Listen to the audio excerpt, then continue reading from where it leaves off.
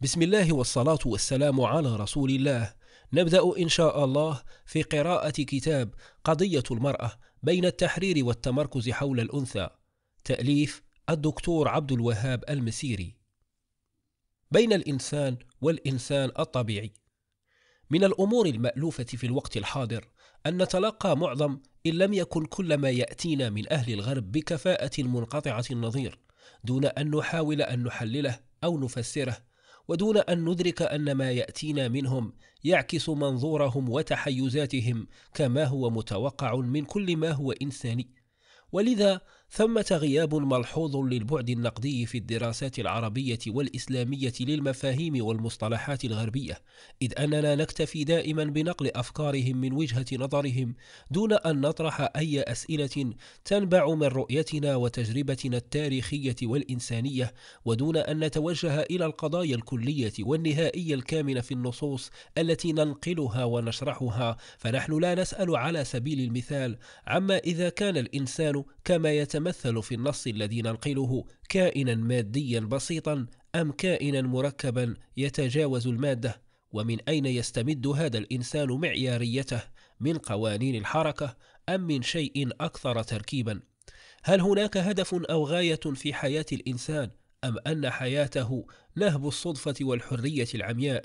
وأخيرا هل الإنسان هو مركز الكون القادر على تجاوز عالم المادة أم أنه كائن لا أهمية له يذعن لظروفه المادية وللحتميات الطبيعية؟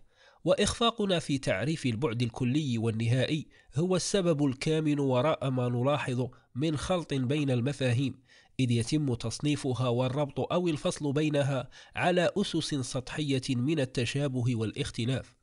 وقد ظهر مؤخرا مصطلح فيمينيزم الذي يترجم إلى النسوية أو النسوانية أو الأنثوية وهي ترجمة حرفية لا تسمن ولا تغني من جوع ولا تفصح عن أي مفهوم كامن وراء المصطلح. وقد يكون من المفيد أن نحاول أن نحدد البعد الكلي والنهائي لهذا المصطلح حتى ندرك معناه المركب والحقيقي.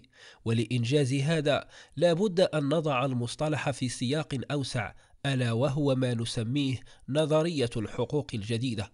فكثير من الحركات التحررية في الغرب في عصر ما بعد الحداثة عصر سيادة الأشياء وإنكار المركز والمقدرة على التجاوز وسقوط كل الثوابت والكليات في قبضة الصيرورة تختلف تماما عن الحركات التحررية القديمة التي تصدر عن الرؤية الإنسانية الهيومانية المتمركزة حول الإنسان.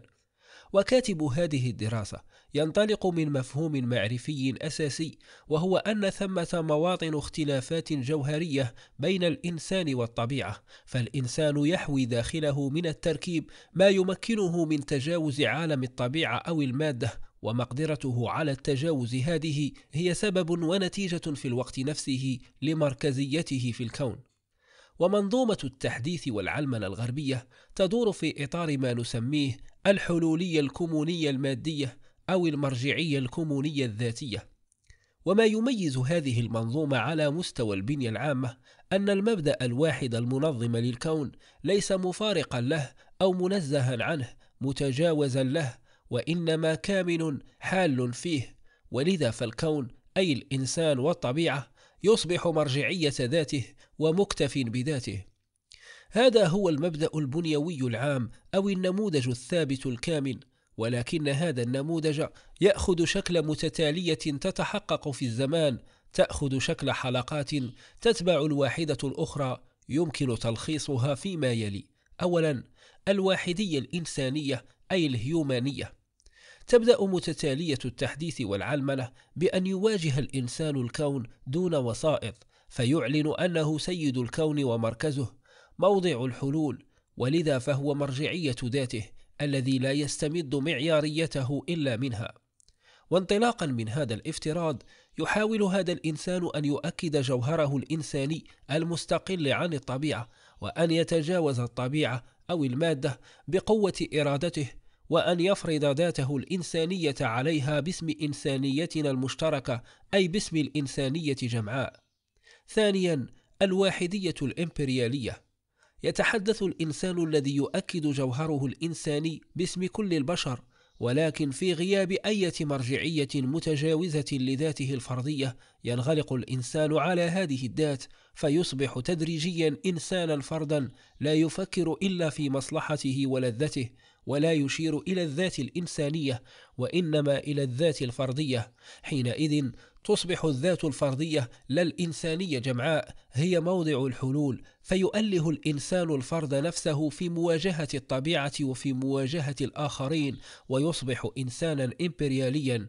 وحينما يستمد هذا الإنسان الإمبريالي معياريته من ذاته الإمبريالية التي تستبعد الآخرين يصبح إنسانا عنصريا يحاول أن يستعبد الآخرين ويوظفهم بل ويوظف الطبيعة نفسها لحسابه. وهنا تظهر الثنائية الصلبة ثنائية الأنا والآخر. ثالثا ثنائية الإنسان والطبيعة الصلبة.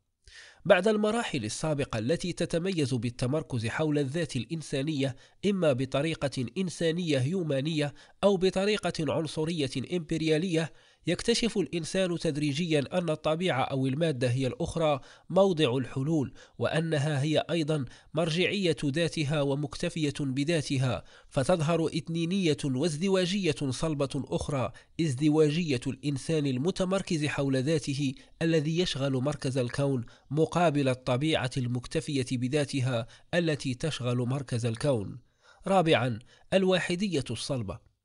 سرعان ما تنحل هذه الإزدواجية الصلبة إذ تصبح الطبيعة أي المادة وحدها هي موضع الحلول وتحل الواحدية الطبيعة أو المادة محل الواحدية الإنسانية. فيبدأ الجوهر الإنساني في الغياب تدريجيا ويحل الطبيعي محل الإنساني. ويستمد الإنسان معياريته لا من ذاته وإنما من الطبيعة أو المادة ويزداد اتحاده بالطبيعة إلى أن يذوب فيها تماما ذوبان الجزء في الكل. حينئذ يظهر الإنسان الطبيعي وهو إنسان ليس فيه من الإنسان سوى الاسم إنسان جوهره طبيعي مادي وليس إنساني فهو يذعن للطبيعة ويتبع قوانينها وبعد أن كان يشير إلى ذاته الإنسانية أو الفردية يصبح جزءا لا يتجزأ من الطبيعة يشير إليها أي يتم تفكيك الإنساني ويتم رده إلى الطبيعي. وهكذا تقود مقولة الإنسان وفكرة الطبيعة البشرية المنفصلة عن قوانين المادة والتي تتسم بقدر معقول من الثبات والاستمرارية أي أننا انتقلنا من عالم يتسم بالثنائية والصراع مركزه الإنسان أو الطبيعة إلى عالم واحد مركزه الطبيعة أو المادة وحسب. ومن الجدير بالملاحظة أن هذا العالم رغم لا إنسانيته عالم له مركز لوغوسانتريك في المصطلح ما بعد الحداثة ولذا فهو يتسم بما نسميه الواحدية الصلبة. خامسا الواحدية السائلة. تتصاعد معدلات الحلول والتفكيك وتتعدد مراكز الحلول إلى أن تصبح الصيرورة هي مركز الحلول ويصبح النسبي هو المطلق الوحيد ويصبح التغير هو نقطة الثبات الوحيدة حينئذ تفقد الطبيعة أو المادة مركزيتها باعتبارها المرجعية النهائية. ويغيب في نهاية الأمر كل يقين وتسيطر النسبة تماما وتتعدد المراكز ويسقط كل شيء في قبضة الصيرورة الكاملة ويفضي بنا كل هذا إلى عالم مفكك لا مركز له. ويتحول العالم إلى كيان شامل واحد تتساوى تماما فيه الأطراف بالمركز. عالم لا يوجد فيه قمة أو قاع أو يمين أو يسار أو ذكر أو أنثى. وإنما يأخذ شكل السطح وتصفى فيه كل الثنائيات وتنفصل الدوال عن المدلولات فتتراقص بلا جذور ولا مرجعية ولا أسس. وتصبح كلمة إنسان دالا بلا مدلول أو دالا متعدد المدلولات. وهذا هو التفكيك الكامل وهذا هو الانتقال من الثنائية الصلبة والواحدية الصلبة إلى الواحدية السائلة التي لا تعرف حدودا ولا قيود. وهو أيضا الانتقال من عالم التحديث والحداثة والإمبريالية إلى عصر ما بعد الحداثة والنظام العالمي الجديد. ورغم الاختلاف المعرفي والفلسفي بين الواحدية الصلبة والواحدية السائلة إلا أنه يمكن القول بأن نقط التشابه بينهما من منظور هذا البحث أهم من نقط الاختلاف فجوهرهما هو تغييب الإنساني وتفكيكه وتقويضه وتذويبه إما في عالم مركزه الطبيعة أو في عالم لا مركز له. هذا النمط الواحدية الهيومانية عالم مركزه الإنسانية جمعاء الواحدية الإمبريالية عالم مركزه الذات الفردية الثنائية الصلبة صراع بين الإنسان والطبيعة الواحدية الصلبة عالم مركزه الطبيعة الواحدية السائلة عالم بلا مركز سقط في قبضة الصيرورة هو نمط أساسي في الفكر المادي منذ بداية التفكير الفلسفي. ولكنه يظهر هيومانية أولية قصيرة هيومانيزم تظهر الإمبريالية ثم العنصرية والعداء العميق للإنسان أنتي هيومانيزم ويقسم البشر في منظومة نيتشه إلى سوبرمان أي الرجل الأعلى أو الإنسان الذي تجاوز الإنسان والسابمان أي الرجل الأدنى أو الإنسان الذي هو دون الإنسان. وهكذا يظهر عالم صراعي ثنائي ينقسم فيه البشر إلى جزار وضحية قاتل ومقتول أقوياء وضعفاء باطشون ومتكيفون مرنون. ولكن ما يجعل سوبرمان أو السابمان أن كليهما لا يعبر عن الجوهر الإنساني المتجاوز للطبيعة أو المادة وإنما هو جزء من عالم الطبيعة أو المادة الدارويني الصراعي الواحدي الصلب. وأسبقية الطبيعة أو المادة على الإنسان تترجم نفسها إلى أسبقية الفرد على المجتمع وأسبقية المصلحة الشخصية والمنفعة الفردية على قيم المجتمع ومتطلبات بقائه.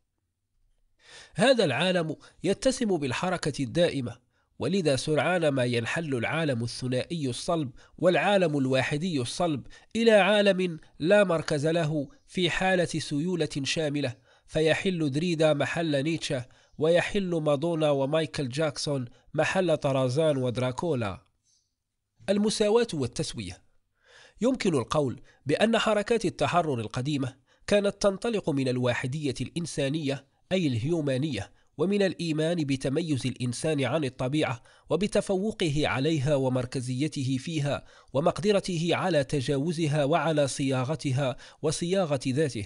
وكانت تتم المطالبة بالمساواة بين البشر داخل هذا الإطار حيث يقف الإنسان على قمة الهرم الكوني كائنا حرا مبدعا فريدا.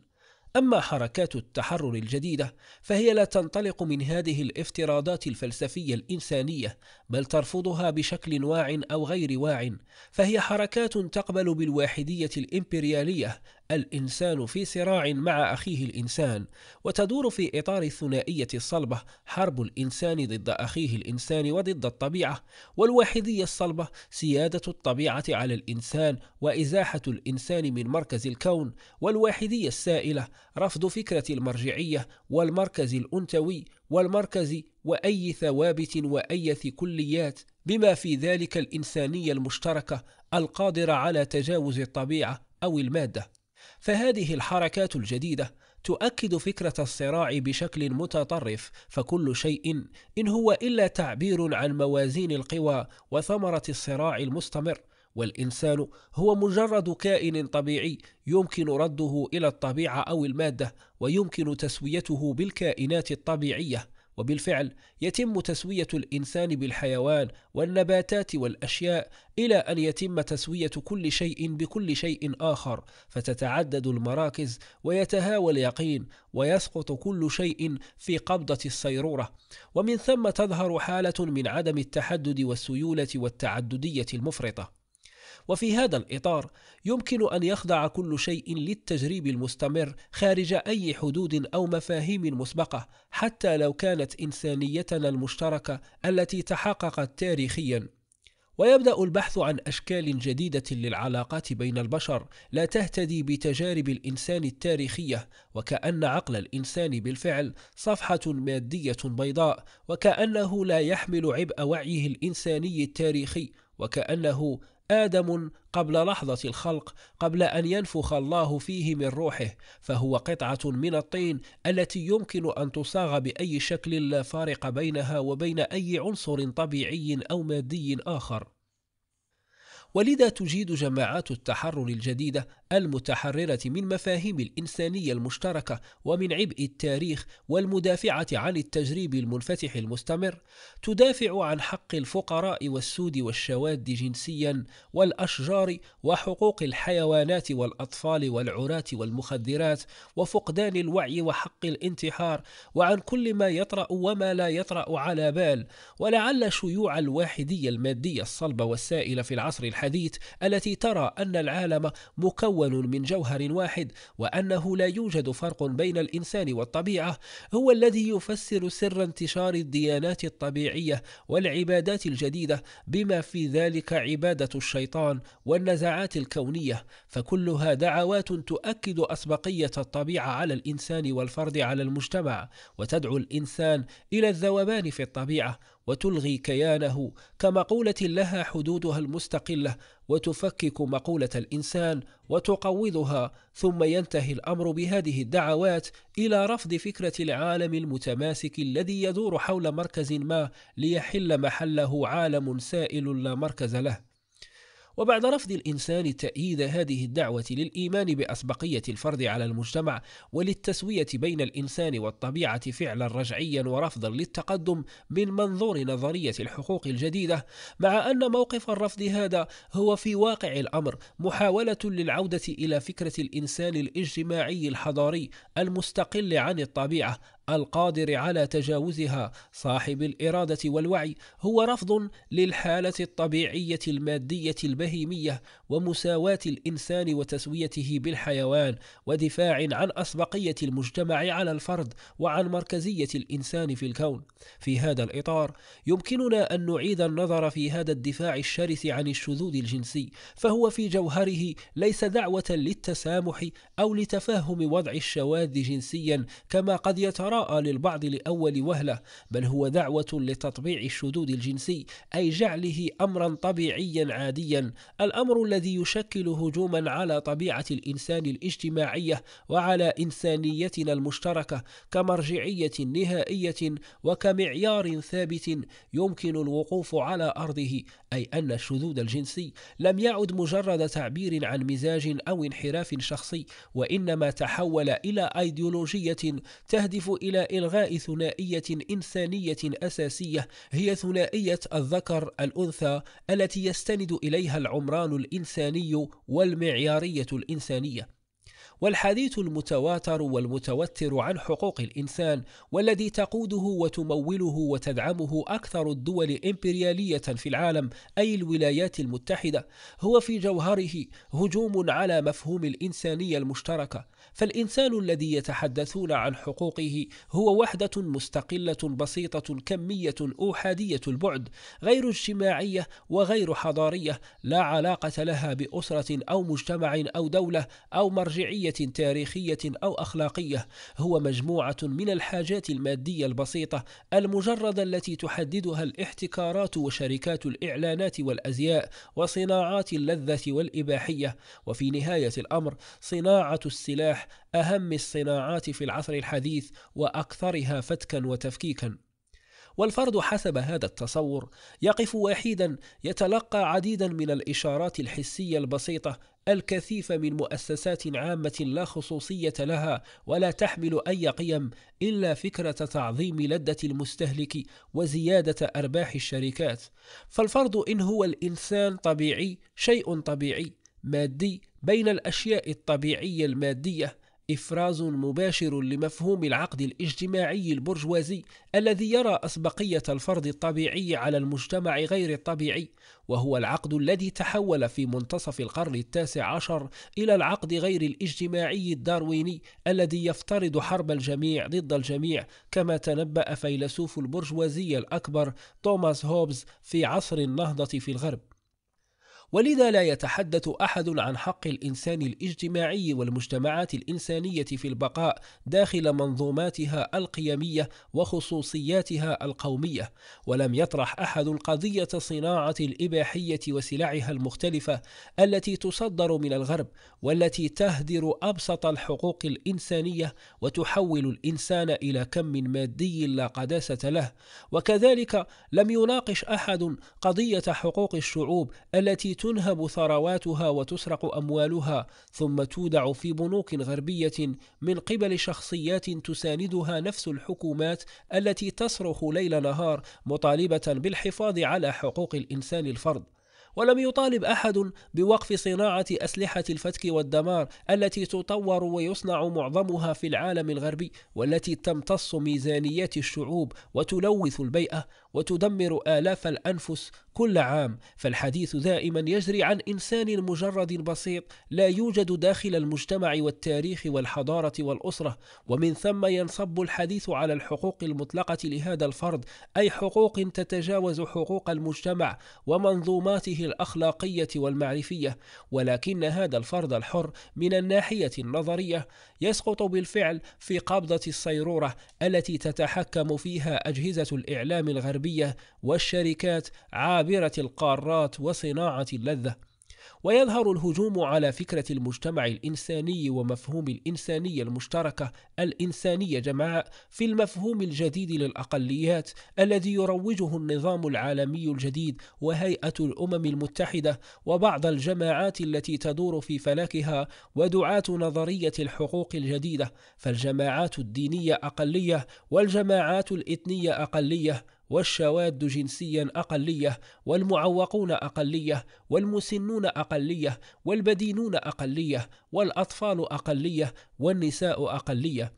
وفكرة أن كل الناس أقليات تعني أنه لا يوجد أغلبية أي لا يوجد معيارية إنسانية ولا ثوابت. ومن ثم تصبح كل الأمور نسبية متساوية وتسود الفوضى المعرفية والأخلاقية وإذا كان لكل أقلية حقوق مطلقة فإن هذا يؤدي في واقع الأمر إلى أن فكرة المجتمع الذي يستند إلى عقد اجتماعي وإلى إيمان بإنسانيتنا المشتركة تصبح مستحيلة. إذ أن الحقوق المطلقة التي لا تستند إلى أي إطار مشترك لا يمكنها التعايش وهذا ما حدث في فلسطين المحتلة المشتركة فقاموا بطرد الفلسطينيين من أرضهم وهدم وطنهم. السياق الحضاري المعرفي لحركتي تحرير المرأة والتمركز حول الأنثى. هذه الأفكار تشكل الإطار الحقيقي لحركة ال feminism التي ظهرت مؤخرا في الغرب وقد ظن البعض أن مصطلح feminism هذا مجرد تنويع على مصطلح Women's Liberation Movement الذي يترجم عادة إلى حركة تحرير المرأة والدفاع عن حقوقها. ولذا حل المصطلح الجديد تدريجيا محل المصطلح القديم وكأنهما مترادفان أو متقاربان في المعنى. وكأن المصطلح الجديد لا يختلف عن القديم إلا في أنه أكثر شمولا أو أكثر راديكالية. ولكننا لو دققنا النظر لوجدنا أن المصطلح الجديد مختلف تمام الاختلاف عن مدلولات حركة تحرير المرأة وهي واحدة من حركات التحرر القديمة التي تدور في إطار إنساني هيوماني يؤمن بفكرة مركزية الإنسان في الكون وبفكرة الإنسانية المشتركة التي تشمل كل الأجناس والألوان وتشمل الرجال والنساء. وبفكرة الإنسان الاجتماعي الذي يستمد إنسانيته من انتمائه الحضاري والاجتماعي والإنسان من منظور حركة تحرير المرأة كيان حضاري مستقل عن عالم الطبيعة أو المادة لا يمكنه أن يوجد إلا داخل المجتمع ولذا لا يمكن تسويته بالظواهر الطبيعية المادية. ومن ثم تحاول هذه الحركة أن تدافع عن حقوق المرأة داخل حدود المجتمع وخارج الأطر البرجوازية الصراعية الطبيعية المادية الداروينية التي ترى المجتمع باعتباره ذرات متصارعة. والمرأة من ثم في تصور هذه الحركة كائن اجتماعي يطلع بوظيفة اجتماعية ودور اجتماعي ولذا فهي حركة تهدف إلى تحقيق قدر من العدالة الحقيقية داخل المجتمع لا تحقيق مساواة مستحيلة خارجة. بحيث تنال المرأة ما يطمح إليه أي إنسان. رجلا كان أم امرأة من تحقيق لذاته إلى الحصول على مكافأة عادلة مادية أو معنوية لما يقدم من عمل. وعادة ما تطالب حركات تحرير المرأة بأن تحصل المرأة على حقوقها كاملة سياسية كانت حق المرأة في الانتخاب والمشاركة في السلطة أم اجتماعية حق المرأة في الطلاق وفي حضانة الأطفال أم اقتصادية مساواة المرأة في الأجور مع الرجل. وبرغم أن دعاة حركة تحرير المرأة قد يستخدمون أحيانا خطابا تعاقديا وقد ينظرون أحيانا للمرأة باعتبارها فردا مستقلا بذاته عن المجتمع لا باعتبارها أما وعضوا في أسرة أو قد ينظرون إليها باعتبارها إنسانا اقتصاديا أو جسمانيا أي إنسانا طبيعيا ماديا لا إنسانا إنسانا. إلا أن الإطار المرجعي النهائي هو الرؤية الإنسانية التي تضع حدودا بين الإنسان والطبيعة وتفترض وجود مركزية إنسانية ومعيارية إنسانية ومرجعية إنسانية وطبيعية إنسانية مشتركة ولذا تأخذ حركة تحرير المرأة بكثير من المفاهيم الإنسانية المستقرة الخاصة بأدوار المرأة في المجتمع وأهمها بطبيعة الحال دورها كأم. ولذا يتحرك برنامج حركة تحرير المرأة داخل إطار من المفاهيم الإنسانية المشتركة التي صاحبت الإنسان عبر تاريخه الإنساني مثل مفهوم الأسرة باعتبارها أهم المؤسسات الإنسانية التي يحتمي بها الإنسان ويحقق من خلالها جوهره الإنساني ويكتسب داخل إطارها هويته الحضارية والأخلاقية. ومثل مفهوم المرأة باعتبارها العمود الفقري لهذه المؤسسة. ولا تطرح أفكارا مستحيلة ولا تنزلق في التجريب اللانهائي المستمر الذي لا يستند إلى نقطة بدء إنسانية مشتركة ولا تحده أية حدود أو قيود إنسانية أو تاريخية أو أخلاقية. هذا هو الإطار الحضاري والمعرفي لحركة تحرير المرأة وهذه هي بعض ثوابتها. وقد كان هذا هو أيضا الإطار الأساسي لحركات التحرر في الغرب حتى منتصف الستينيات. ولكن الحضارة الغربية دخلت عليها تطورات غيرت من توجهها وبنيتها. إذ تصاعدت معدلات الترشيد المادي للمجتمع أي إعادة صياغته وصياغة الإنسان ذاته في ضوء معايير المنفعة المادية والجدوى الاقتصادية. وهو عنصر أساسي في منظومة الحداثة الغربية. وزاد معه تسلع الإنسان وتشيؤه بما يعني إزاحته عن المركز على أن تحل السلع والأشياء محله. وزادت نتيجة لذلك هيمنة النماذج الكمية والتكنوقراطية وتصاعدت عمليات التنميط وتغلغلت العلاقات البرجوازية التعاقدية. الأمر الذي أدى إلى تزايد هيمنة القيم البرانية المادية مثل الكفاءة في العمل في الحياة العامة مع إهمال الحياة الخاصة الاهتمام بدور المرأة العاملة البرانية مع إهمال دور المرأة الأم الجوانية. الاهتمام بالإنتاجية على حساب القيم الأخلاقية والاجتماعية الأساسية مثل تماسك الأسرة وضرورة توفير الطمأنينة للأطفال اقتحام الدولة ووسائل الإعلام وقطاع اللذة لمجال الحياة الخاصة إسقاط أهمية الإحساس بالأمن النفسي الداخلي إسقاط أهمية فكرة المعنى باعتبارها فكرة ليست كمية أو مادية إلى آخره. وقد لاحظ أحد علماء الاجتماع الغربيين كريستوفر لاش أنه منذ أواخر الستينيات أصبح من المستحيل على الأسرة الأمريكية أن تعيش على دخل واحد أي أنه لتحقيق البقاء المادي.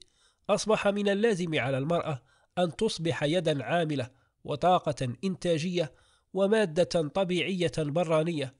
وأصبح من الضروري أن تتخلى عن وظائفها الإنسانية التقليدية مثل الأمومة أي أنه تم القضاء على آخر معقل ومأوى للإنسان وآخر مؤسسة وسيطة تقف بين الإنسان ورقعة الحياة العامة التي تديرها الدولة وتسيرها المؤسسات الاقتصادية ويوجهها قطاع اللذة. وقد بلغ الترشيد في الإطار المادي درجة عالية من الشمول وتغلغل في كل جوانب الحياة العامة والخاصة حتى أصبح العمل الإنساني لابوغ هو العمل الذي يقوم به المرء نظير أجر نقدي محسوب أي كم محدد خاضع لقوانين العرض والطلب على أن يؤديه في رقعة الحياة العامة أو يصب فيه في نهاية الأمر. وهذا التعريف يستبعد بطبيعة الحال الأمومة وتنشئة الأطفال وغيرها من الأعمال المنزلية فمثل هذه الأعمال لا يمكن حسابها بدقة ولا يمكن أن تنال عليها الأنثى أجرا نقديا رغم أنها تستوعب جل حياتها واهتمامها إن أرادت أن تؤديها بأمانة. ولا يمكن لأحد مراقبتها أثناء أدائها فهي تؤديها في رقعة الحياة الخاصة. باختصار شديد عمل المرأة في المنزل هو عمل لا يمكن حساب ثمنه مع أن قيمته مرتفعة للغاية. ولذا فهو ليس عملا حتى أنه أصبح من الشائع الآن أن تجيب ربة البيت عن سؤال بخصوص نوعية عملها بقولها لا أفعل شيئا فأنا أمكث في المنزل بمعنى أن وظيفتها كأم رغم أهميتها وعملها كأم رغم المشقة التي تجدها في أدائه هي لا شيء فهو عمل لا تتقاضى عنه أجرا ولا يتم في رقعة الحياة العامة. وهكذا تغلغلت المرجعية المادية بتركيزها على الكمي والبراني وتراجعت المرجعية الإنسانية الهيومانية بتركيزها على الكيفي والجواني وتراجع البعد الإنساني الاجتماعي الذي يفترض مركزية إنسانية وطبيعة إنسانية متفردة تتمتع بقدر عال من الثبات يميزها عن قوانين الطبيعة المادية المتغيرة. وتم إدراك الإنسان خارج أي سياق اجتماعي إنساني بحيث أصبح الإنسان كائنا طبيعيا ماديا كميا لا يشغل أي مركزية في الكون وليس له مكانة خاصة فيه يسري عليه ما يسري على الأشياء الطبيعية المادية الأخرى أي أنه تم تفكيك الإنسان تماما وتحويله من الإنسان المنفصل عن الطبيعة. إلى إلى الإنسان الطبيعي المادي الذي يتحد بها ويذوب فيها ويستمد معياريته منها فيفقد الدال إنسان مدلوله الحقيقي ويحل الكم محل الكيف والثمن محل القيمة.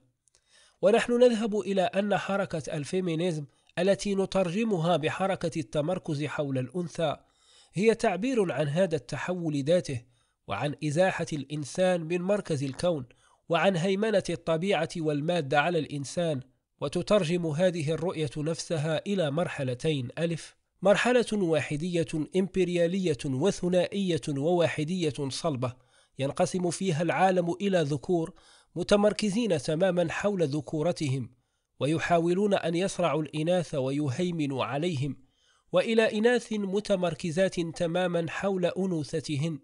يحاولن بدورهن أن يصرعن الرجال ويهيمن عليهم. باء سرعان ما تنحل هذه الواحدية الإمبريالية والثنائية والواحدية الصلبة لتصبح واحدية مادية سائلة لا تعرف فارقا بين ذكر أو أنثى ولذا لا يتصارع الذكور مع الإناث وإنما يتفككون جميعهم ويذوبون في كيان سديمي واحد لا معالم له ولا قسمات. الواحدية الإمبريالية والثنائية والواحدية الصلبة والتمركز حول الأنثى.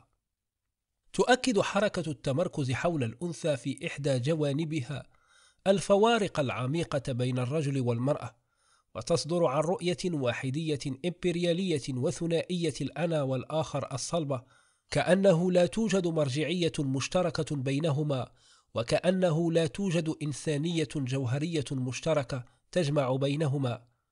ولذا فدور المرأة كأم ليس أمرا مهما ومؤسسة الأسرة من ثم تعد عبئا لا يطاق. فالمرأة متمركزة حول ذاتها تشير إلى ذاتها مكتفية بذاتها تود اكتشاف ذاتها وتحقيقها خارج أي إطار اجتماعي في حالة صراع كوني أزلي مع الرجل المتمركز حول ذاته.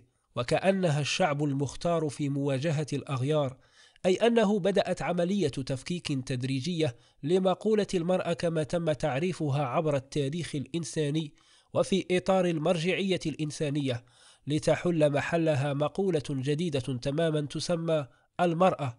أيضا التمركز حول الأنثى من حركة تدور حول فكرة الحقوق الاجتماعية والإنسانية للمرأة إلى حركة تدور حول فكرة الهوية ومن رؤية خاصة بحقوق المرأة في المجتمع الإنساني إلى رؤية معرفية أنثروبولوجية اجتماعية شاملة تختص بقضايا مثل دور المرأة في التاريخ والدلالة الأنثوية للرموز التي يستخدمها الإنسان.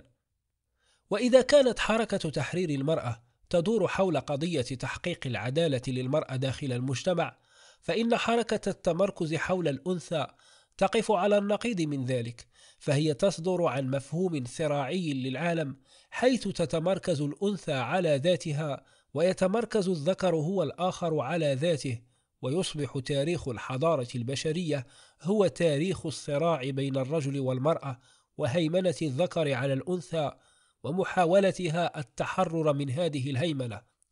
وتذهب بعض التواريخ الأيديولوجية المتمركزة حول الأنثى إلى أن هيمنة الذكر على الأنثى تمت إثر معركة أو مجموعة من المعارك حدثت في عصور موغلة في القدم حينما كانت المجتمعات كلها مجتمعات أمومية ماترياركي تسيطر عليها الإناث أو الأمهات وكانت الآلهة إناثا وكان التنظيم الاجتماعي ذاته يتصف بالأنوثة أي بالرقة والوئام والاستدارة التي تشبه نهود الإناث وعضو التأنيث. ثم سيطر الذكور وأسسوا مجتمعا مبنيا على الصراع والسلاح الذي يشبه عضو التذكير وعلى الغزو الذي يشبه اقتحام الذكر للأنثى. بل إن كل التاريخ أصبح يدور حول مركز واحد هو الرجل عضو التذكير السلطة الإله الذكر الأب وهذه هي المجتمعات الأبوية البطرياركية patriarchy ويتحدث دعاة ما بعد الحداثة والتمركز حول الأنثى عن اللوغوس أي الكلمة والم... أي أي الكلمة والمطلق والمركز وال phallus أي عضو التذكير. وهم يذهبون إلى أن العالم ليس متمركزا حول اللوغوس وحسب logocentric كما يدعي بعض الذكور من دعاة ما بعد الحداثة وإنما هو متمركز حول عضو التذكير. فلوغوسانتريك وسرد أحداث التاريخ من وجهة نظر ذكورية بحتة ويستبعد الإناث تماما ومن ثم يرى دعاة الحداثة والتمركز حول الأنثى ضرورة وضع نهاية لهذا التاريخ وتفكيك هذا العالم الذكوري. وانطلاقا من هذه الرؤية للتاريخ ينادي دعاة التمركز حول الأنثى بالتجريب الدائم والمستمر ويطرحون برنامجا ثوريا يدعو إلى إعادة صياغة كل شيء التاريخ واللغة والرموز بل الطبيعة البشرية ذاتها كما تحققت عبر التاريخ وكما تبدت في مؤسسات تاريخية وكما تجلت في أعمال فنية. فهذا التحقق والتبدي والتجلي إن هو إلا انحراف عن مسار التاريخ الحقيقي. وفي مجال وضع هذا البرنامج الثوري موضع التنفيذ ينادي دعاة حركة التمركز حول الأنثى بضرورة إعادة سرد التاريخ من وجهة نظر أنثوية أي متمركزة حول الأنثى. بل وأعيد تسمية التاريخ فهو بالإنجليزية هيستوري الذي وجد بعض الأذكياء أنها تعني قصته. His story فتقرر تغيير اسم التاريخ ليصبح her story قصتها. أي أن تاريخ الذكور مختلف تماما عن تاريخ الإناث تماما مثل التاريخ اليهودي المستقل عن التاريخ الإنساني. والرموز التي فرضها الذكور لابد أن تضاف لها رموز أنثوية تعبر عن الهوية الأنثوية المستقلة ومنتجات الإنسانية الفنية لابد أن تعبر عن الأنثى وآلامها. ومن هنا التركيز الشديد في الأدب الغربي الحديث على جوانب الصراعية في علاقة الرجل بالمرأة وعلى موضوعات أدبية مثل الاغتصاب والهدف الأساسي لحركة التمركز حول الأنثى في نهاية الأمر وفي التحليل الأخير هو رفع وعي النساء بأنفسهن كنساء وتحسين أدائهن في المعركة الأزلية مع الرجال وتسيسهن لا بالمعنى الشائع المتداول أي أن يدرك الإنسان الأبعاد السياسية للظواهر المحيطة به ولحقوقه وواجباته السياسية وإنما بمعنى أن ندرك أن كل شيء إنما هو تعبير عن هذا الصراع الكوني بين الذكور والإناث. ويضرب تيري إيجلتون مثلا على التحليل التفكيك ذي الاتجاه المتمركز حول الأنثى الذي يؤكد فكرة الصراع هذه وكيف أن أحد قطبي الصراع لابد أن يهيمن على الآخر. فلا حب ولا تراحم ولا إنسانية مشتركة بل صراع شرس لا يختلف إلا من ناحية التفاصيل عن الصراع بين الطبقات عند ماركس أو الصراع بين الأنواع والأجناس عند داروين. أو الصراع بين الجنس الأبيض والأجناس المتخلفة الأخرى حسب التصور العنصري الإمبريالي الغربي يقول تيري إيجلتون تذهب المجتمعات الذكورية المتمركزة حول الذكر إلى أن الرجل هو الأصل الثابت المبدأ الأول اللوغوس. والمرأة هي العكس ولكن المرأة في واقع الأمر هي الأصل الآخر المسكوت عنه. والمرأة عكس الرجل. هي ما يمكن أن يشار إليه على أنه الرجل الآخر فهي ليست برجل وإنما هي رجل معيب ناقص حسب تصور المجتمعات الذكورية. ولكن الرجل هو الرجل لا في حد ذاته وإنما عن طريق استبعاد عكسه وإخفائه فهو يعرف ذاته الرجولية كنقيض للمرأة فكل وجوده وهويته مرتبط تماما بمحاولته تأكيد وجوده المستقل عن المرأة فهو يعرف ذاته في مواجهة المرأة والمرأة على علاقة قوية به باعتبارها صورته العكسية إنها صورة ما ليس هو وهي تعبير عن غيابه الذي يخاف منه فهو يريد تأكيد حضوره الكامل ولكن المرأة تصبح بذلك عنصرا أساسيا في تذكير الرجل بذاته فحضوره مرتبط بغيابها. ولذا فإن الرجل يحتاج لهذا الآخر حتى حينما ينبذه ويضطر أن يعطي هوية إيجابية لما يعتبره لا شيء. فكيانه معتمد عليها بشكل طفيلي ويتوقف وجوده على استبعادها. وهو يستبعدها لأنها قد لا تكون هذا الآخر على أي حال فلعلها إشارة على شيء في الرجل ذاته. شيء يود أن يكتبه ويستبعده خارج وجوده وخارج حدوده فلعل ما هو خارج الرجل يوجد داخله وما هو غريب قريبا. لكل هذا يجد الرجل أنه في حاجة ماسة إلى أن يحرس الحدود المطلقة بين عالمه وعالم المرأة بكل ما أوتي من قوة. يقول لكل هذا يجد الرجل أنه في حاجة ماسة إلى أن يحرس الحدود المطلقة بين عالمه وعالم المرأة بكل ما أوتي من قوة بسبب خوفه من أن تجاوز الحدود مسألة مطروحة وممكنة فالحدود ليست كما قد تبدو لأول وهلة. في هذا الخضم الدفاق من الكلمات والمفاهيم يتصور المرء أن الحديث قد يكون حديثا عن مفهوم الحدود والأمن في الدولة الصهيونية أو عن علاقة الاتحاد السوفيتي بالولايات المتحدة إبان فترة الحرب الباردة أو عن حروب الرجل الأبيض ضد شعوب آسيا وأفريقيا وليس عن علاقة الرجل بالمرأة. أخبرتني صديقة من رائدات حركة التمركز حول الأنثى أن العلاقة الجنسية بين الرجل والمرأة هي في جوهرها مواجهة سياسية كذا فكان ردي عليها إما أنها لا تعرف شيئا عن العلاقات الجنسية أو عن المواجهات السياسية. هذه الرؤية الصراعية الداروينية الشرسة تتبدى في رؤية حركة التمركز حول الأنثى لأحاسيس كل من المرأة والرجل، ففي غياب الإنسانية المشتركة لا يمكن أن تكون هناك أحاسيس إنسانية مشتركة بين الذكر والأنثى، فتركيبة جسدهما مختلفة وطبيعتها الفسيولوجية مختلفة، والإنسان الطبيعي المادي يعيش في الجسد وحده فضاؤه محدد بفضاء الجسد. فالرجل على سبيل المثال لا يحمل ولا يلد ولذا فهو لا يمكنه أن يشعر بآلام المرأة وأحزانها وأفراحها في فترة الحمل ولحظة الولادة فهي وحيدة مع جسدها. ولذا تقوم إحدى مستشفيات الولادة في الولايات المتحدة بعقد دورات تدريبية للرجال حتى يتعلموا آلام المرأة.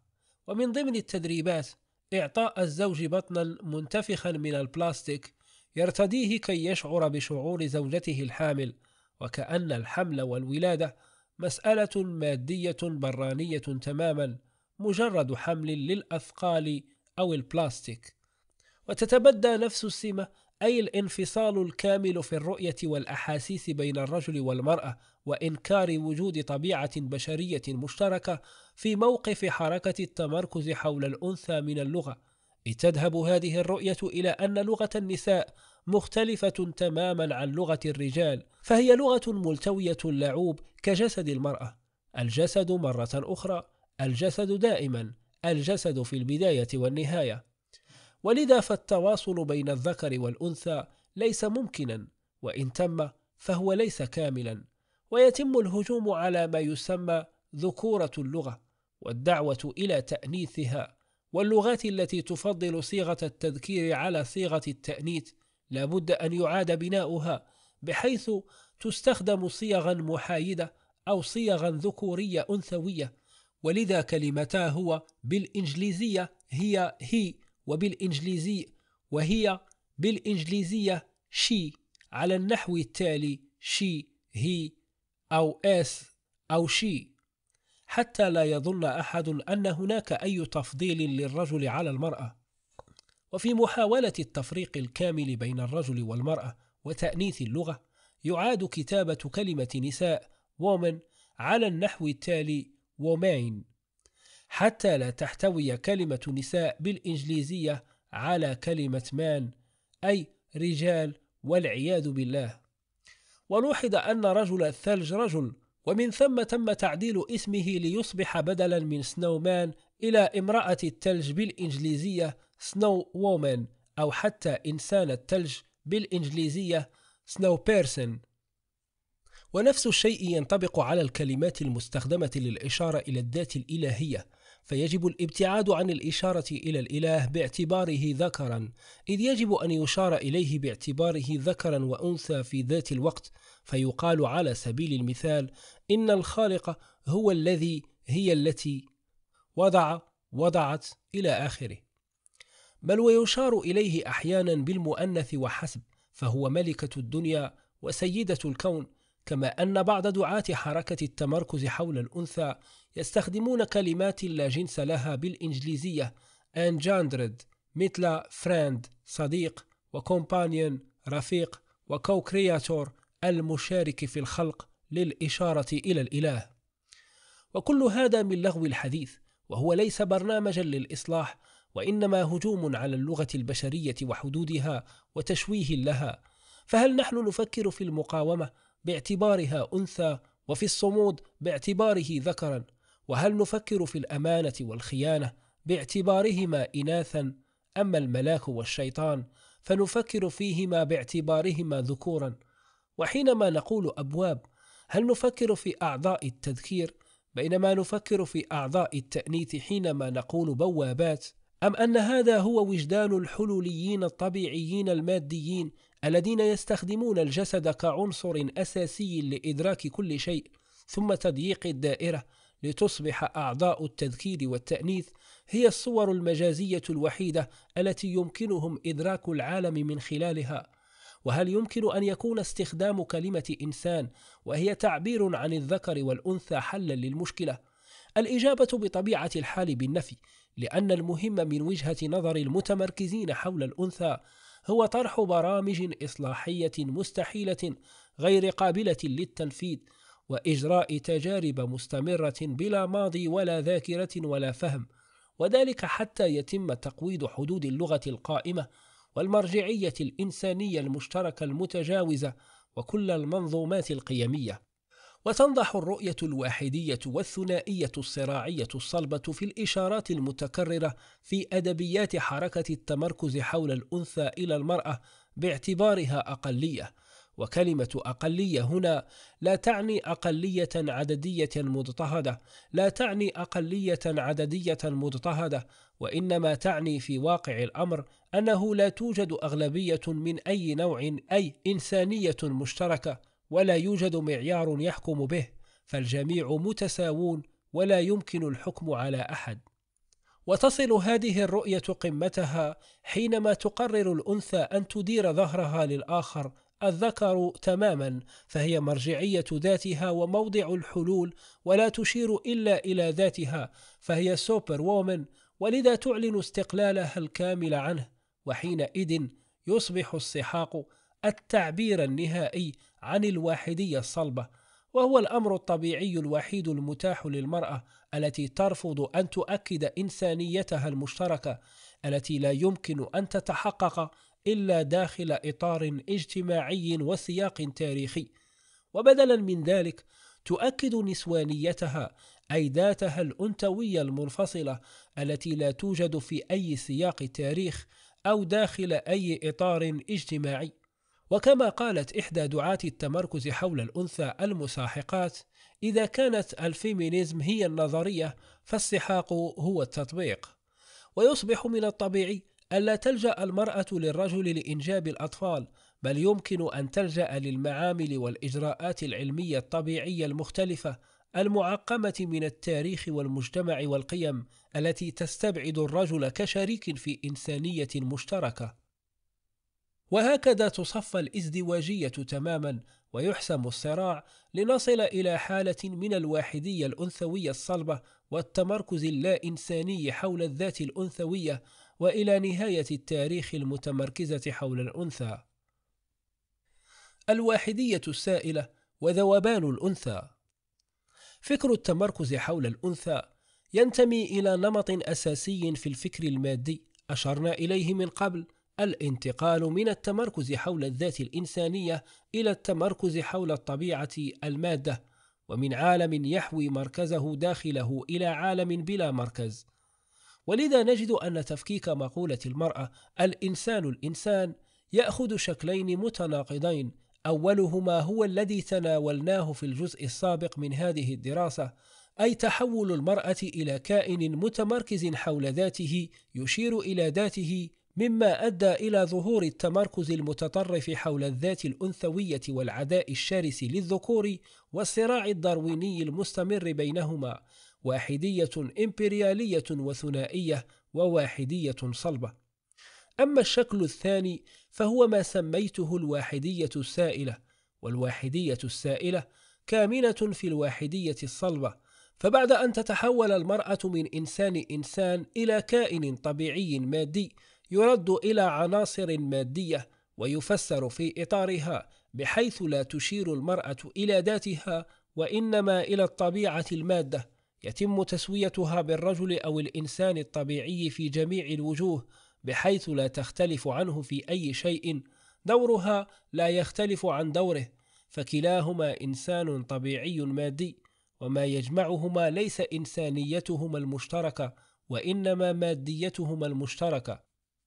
فيتم اختزالهما إلى مستوى طبيعي مادي عام واحد لا يكترث بذكورة الذكر أو أنوثة الأنثى أو يسوي بينهما فالقانون الطبيعي المادي العام لا يكترث بالخصوصية أو الثنائية كما أن العالم متعدد المراكز لا يكترث بأية فروق ظاهرة أو باطنة فهو عالم سائل لا مركز له لا يمكن إصدار أحكام على أي شيء.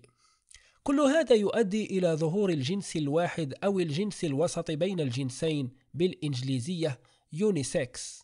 أي أنه تم رد الواقع إلى عنصر واحد أو مبدأ واحد ينكر أي شكل من أشكال عدم التجانس أو أي تنوع بل وينكر وجود ثنائية ذكر أنثى فالذكر مثل الأنثى والأنثى مثل الذكر وكلاهما مجرد إنسان طبيعي مادي وهكذا تتحول ال superwoman عدوة الرجل إلى subwoman ليس لها هوية أنثوية مستقلة.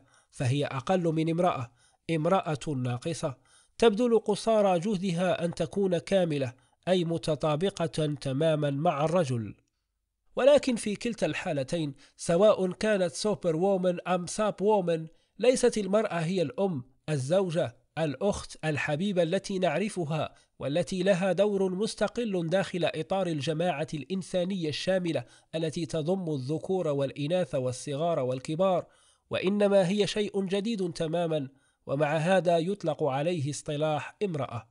وبسقوط الأم الزوجة والمرأة تسقط الأسرة ويتراجع الجوهر الإنساني المشترك ويصبح كل البشر أفرادا طبيعيين لكل مصلحته الخاصة وقصته الصغرى الخاصة.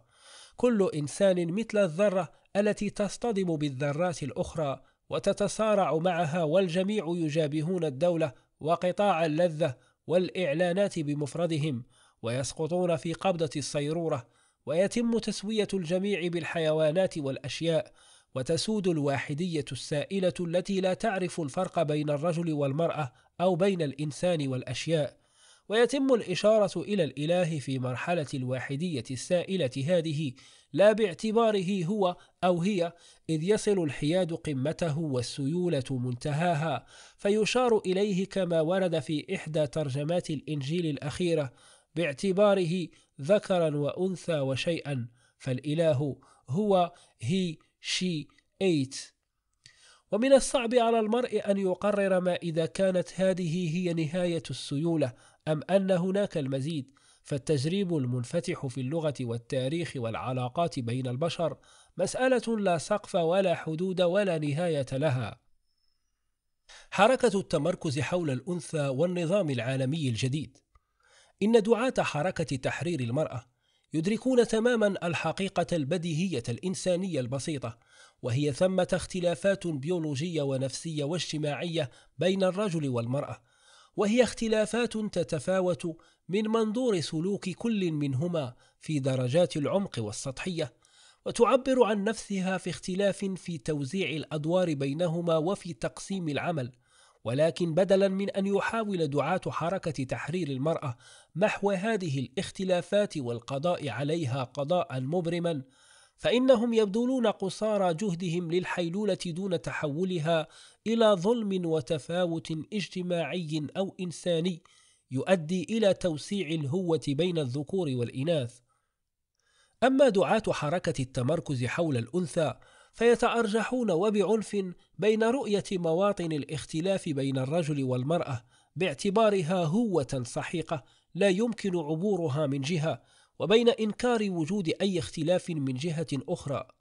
ولذا فهم يرفضون فكرة توزيع الأدوار وتقسيم العمل ويؤكدون استحالة اللقاء بين الرجل والمرأة ولا يكترثون بفكرة العدل ويحاولون إما توسيع الهوة بين الرجال والإناث أو تسويتهم ببعضهم بالبعض. فيطالبون بأن يصبح الذكور آباء وأمهات في نفس الوقت وأن تصبح الإناث بدورهن أمهات وآباء. ولعل الهندسة الوراثية ستحل كثيرا من هذه المشاكل وستفتح باب التجريب اللامتناهي على مصراعيه بحيث يصبح بإمكان الرجل أن يحمل طفلا وليس مجرد بطن بلاستيك ويمكن تجاوز مشقات الحمل نفسها من خلال عمليات الاستنساخ المريحة كما أن تعديل القوانين في الغرب سيتكفل بكل ما قد يتبقى من مشاكل شكلية قد تضع حدودا على عملية التجريب إذ بإمكان الأنثى أن تتزوج من أنثى أو من رجل حسب ما يسمونه التفضيل الجنسي. بل إن الأمر يمتد ليشمل الأحاسيس بل إن الأمر يمتد ليشمل الأحاسيس الجوانية ذاتها فالمرأة الحقيقية يجب ألا تختلف مشاعرها عن مشاعر الرجل والرجل الحقيقي يجب ألا تختلف مشاعره عن مشاعر الأنثى. وهي أكبر آلية عرفها الجنس البشري لنشر الأفكار وإشاعة الرؤى. بدور نشط في هذا المضمار إذ بدأت تظهر أفلام فيها إناث يغوين الرجال ورجال تحمر وجوههن من النساء ولا مانع من استخدام نون النسوة هنا حتى نحطم حدود اللغة تماما. وليس الهدف من كل هذا هو توسيع آفاقنا وتحطيم القوالب الذهنية الجامدة التي يتعامل كل جنس مع الآخر من خلالها وسجنه فيها. وإنما هو ضرب فكرة المعيارية والإنسانية المشتركة في الصميم حتى يتم تسوية الجميع. ولعل العلم الحديث بما حقق من تقدم مذهل قد يساعد في هذا المضمار بحيث يمكن للرجل أن يتناول كبسولة متمركزة حول الأنثى فيشعر بشعور الإناث ويتم تسويته تماما من الداخل وتتناول المرأة هي الأخرى كبسولة متمركزة حول الذكر فتشعر بشعوره ويتم تسويتها من الداخل. إن حركة تحرير المرأة في نهاية الأمر وفي التحليل الأخير ترى أن ثمة إنسانية مشتركة بين كل البشر رجالا ونساء وأن هذه الرقعة الواسعة المشتركة بيننا هي الأساس الذي نتحاور على أساسه والإطار الذي نبحث داخله عن تحقيق المساواة. ولذا يمكن للرجل أن ينضم إلى حركة تحرير المرأة ويمكنه أن يدخل في حوار بشأن ما يطرح من مطالب لضمان تحقيق العدالة للمرأة ويمكن للمجتمع الإنساني بذكوره وإناثه أن يتبنى برنامجا للإصلاح في هذا الاتجاه ويمكن لكل من الرجال والنساء تأييده والوقوف وراءه.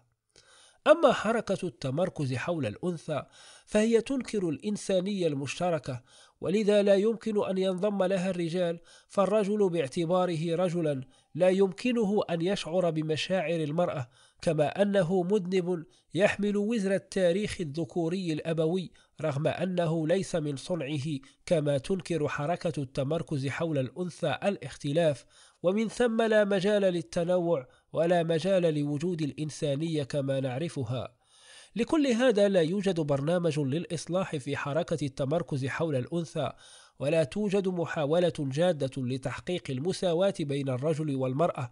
أو إلى تغيير القوانين أو السياق الاجتماعي للحفاظ على إنسانية المرأة باعتبارها أما وزوجة وابنة وعضوا في الأسرة أو المجتمع. وإن كان ثمة برنامجا للإصلاح فسنجد أنه يصدر عن إطار تفكيكي يهدف إما إلى زيادة كفاءة المرأة في عملية الصراع مع الرجل أو إلى تسويتها معه أي أنه في جميع الحالات ثمة إنكارا للإنسانية المشتركة.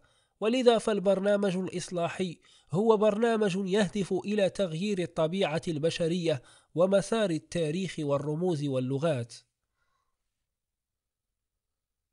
حركة التمركز حول الأنثى والصهيونية من الأمور الجديرة بالنظر والتدبر أن ثمة نقط تشابه واضحة بين حركة التمركز حول الأنثى وحركة مادية إمبريالية أخرى وهي الحركة الصهيونية التي تنكر الإنسانية المشتركة فتقسم البشر بصرامة بالغة إلى يهود وأغيار وتصدر عن الإيمان بأن الأغيار كل الأغيار يحملون وزر تاريخ الإضطهاد الدائم لليهود كل اليهود وعزلة الأغيار عن اليهود كاملة إلى درجة أن الواحد لا يمكنه أن يشعر بشعور الآخر فكل إنسان جريرة مغلقة مكتفية بذاتها مرجعية ذاتها.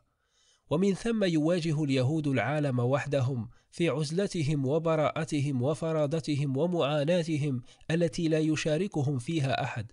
فاليهود شعب مختار له سماته الخاصة وله حقوقه المطلقة ورسالته الخالدة وعذابه الخاص فهو موضع الحلول والكمون مرجعية ذاته يستمد معياريته منها. وهو شعب لا يمكن أن يهدأ له بال إلا بأن يعود إلى أرض أسلافه في فلسطين حيث يمكنه أن يتمتع بحقوقه المطلقة. ولذا لا تبذل الحركة الصهيونية أي مجهود في محاولة الدفاع عن الحقوق المدنية والسياسية والدينية لأعضاء المجتمعات اليهودية في مجتمعاتهم.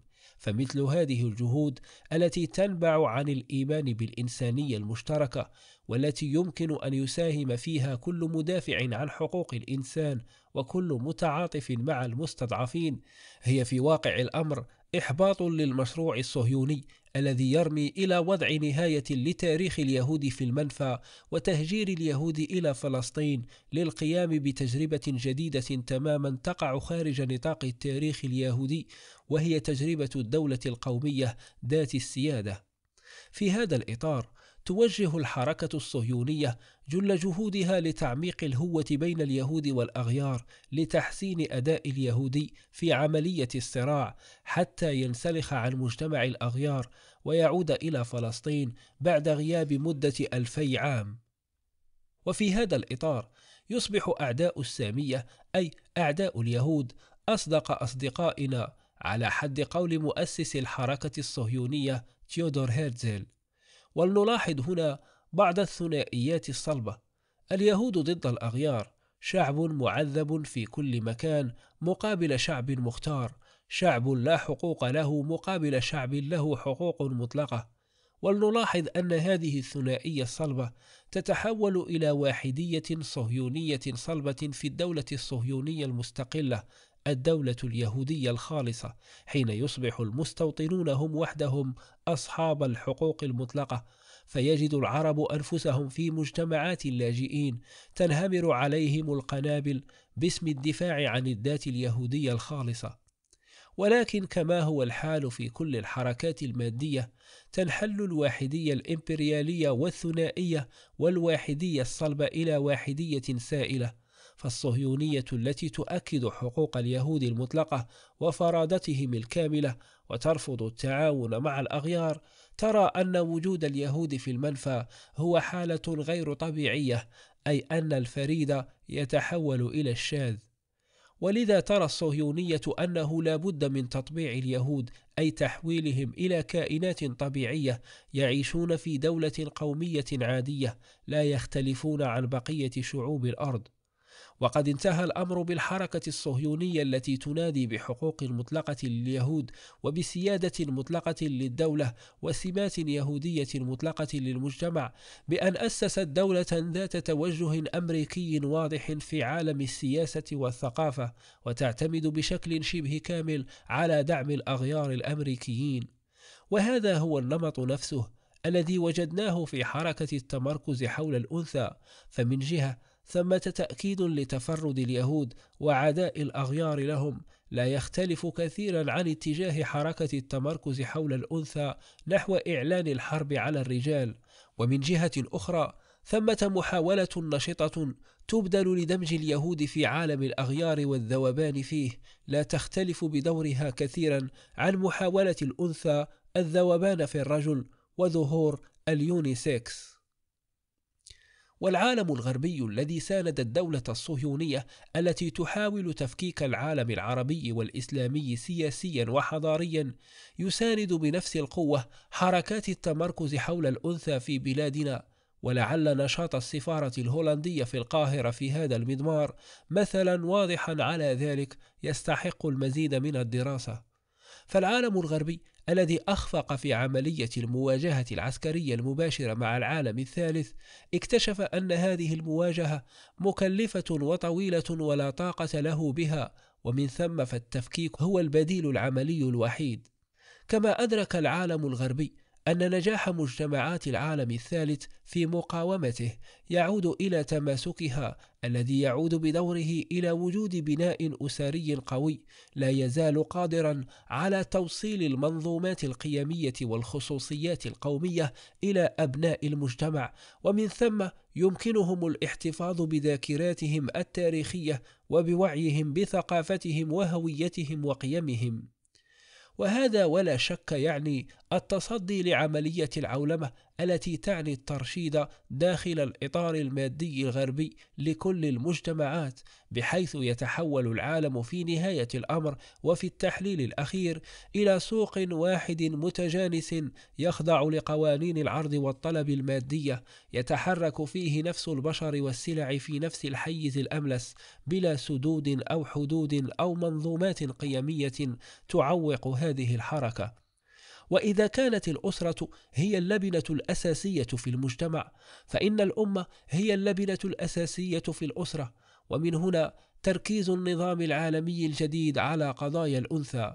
فالخطاب المتمركز حول الأنثى هو خطاب تفكيكي يعلن حتمية الصراع بين الذكر والأنثى وضرورة وضع نهاية للتاريخ الذكوري الأبوي وبداية التجريب بلا ذاكرة تاريخية وهو خطاب يهدف إلى توليد القلق والضيق والملل وعدم الطمأنينة في نفس المرأة عن طريق إعادة تعريفها بحيث لا يمكن أن تتحقق هويتها إلا خارج إطار الأسرة. وإذا انسحبت المرأة من الأسرة تآكلت الأسرة وتهاوت وتهاوى مع معها أهم الحصون ضد التغلغل الاستعماري والهيمنة الغربية وأهم المؤسسات التي يحتفظ الإنسان من خلالها بذاكرته التاريخية وهويته القومية ومنظومته القيمية وبذلك يكون قد نجح النظام العالمي الجديد من خلال التفكيك في تحقيق الأهداف التي أخفق في تحقيقها النظام الاستعماري القديم من خلال المواجهة المباشرة. البحث عن بديل من الأجدر بنا أن ندرس قضية المرأة داخل إطارها التاريخي والإنساني، فندرك أن مشكلة المرأة مشكلة إنسانية لها سماتها الخاصة، كما يجب أن ننفض عن أنفسنا غبار التبعية الإدراكية، ونبحث عن حلول لمشاكلنا نولدها من نماذجنا المعرفية ومنظوماتنا القيمية والأخلاقية، ومن إيماننا بإنسانيتنا المشتركة. وهي منظومات تؤكد أن المجتمع الإنساني يسبق الفرد تماما كما يسبق الإنسان الطبيعة المادة. ولذا بدلا من الحديث عن حقوق الإنسان إنسان روسو الطبيعي الذي يعيش حسب قوانين الطبيعة مما يضطرنا إلى الحديث عن حقوق المرأة الفرد ثم أخيرا عن حقوق الطفل الفرد. قد يكون من الأجدر بنا أن نتحدث عن حقوق الأسرة كنقطة بدء ثم يتفرع عنها وبعدها حقوق الأفراد الذين يكونون هذه الأسرة أي أننا سنبدأ بالكل الإنساني الاجتماعي ثم نتبعه بالأجزاء الفردية. ولو اتبعنا هذا النموذج واتخذنا الأسرة نقطة بدء ووحدة تحليلية فإن الحديث عن تحقيق الذات بشكل مطلق يصبح أمرا ممجوجا ومفروضا ولا بد أن يحل محله الحديث عن تحقيق الذات داخل إطار الأسرة. وبدلا من الحديث عن تحرير المرأة كي تحقق ذاتها ولذتها ومتعتها قد تكون من المفيد أن ندرس ما حولنا لنكتشف أن أزمة المرأة هي في واقع الأمر جزء من أزمة الإنسان في العصر الحديث والتي تنبع من هذه الحركة الهائلة المرتبطة بتزايد معدلات الاستهلاك التي ترسم إيقاع حياتنا الحديثة. ومن وجود هذه الاختيارات الاستهلاكية التي لا حصر لها ولا عدد والتي تحاصرنا وتحد من حركتنا إن الدراسة المتأنية ستبين لنا أن المشكلة تنبع من أن الرجل قد تم تحديثه بشكل متطرف وتم استيعابه في هذه الحركية الاستهلاكية العمياء بحيث أصبحت البدائل المطروحة أمامه تفوق بكثير البدائل المطروحة أمام المرأة.